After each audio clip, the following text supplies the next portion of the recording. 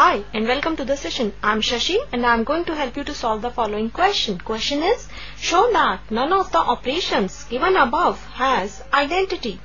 Sixth part of the previous question is, A star B is equal to AB square, where star is the binary operation on the set Q of rational numbers. First of all, let us understand the key idea to solve the given question. Given a binary operation star from A cross A to A, an element E belonging to A if it exists is called identity of the operation star if A star E is equal to A is equal to E star A for every A belonging to set A. Let us now start with the solution. On set Q,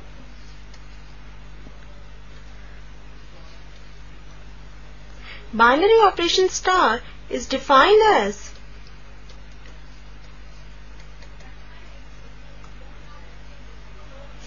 A star B is equal to AB square. Now, let E be the identity element in Q.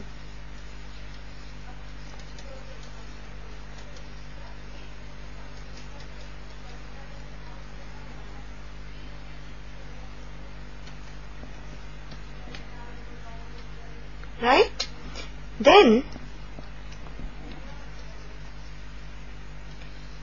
A star E must be equal to A must be equal to E star A for every A belonging to Q where Q is the set of rational numbers. Now first of all let us find out A star E.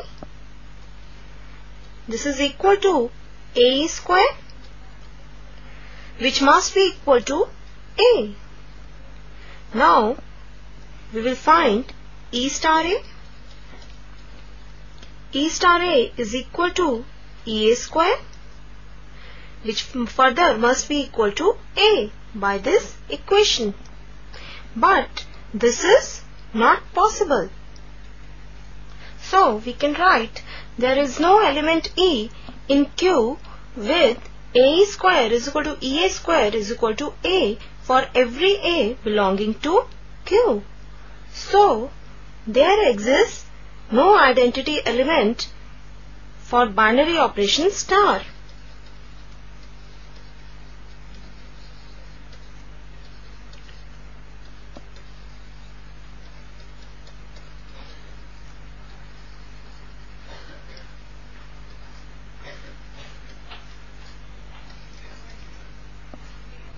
This completes the session.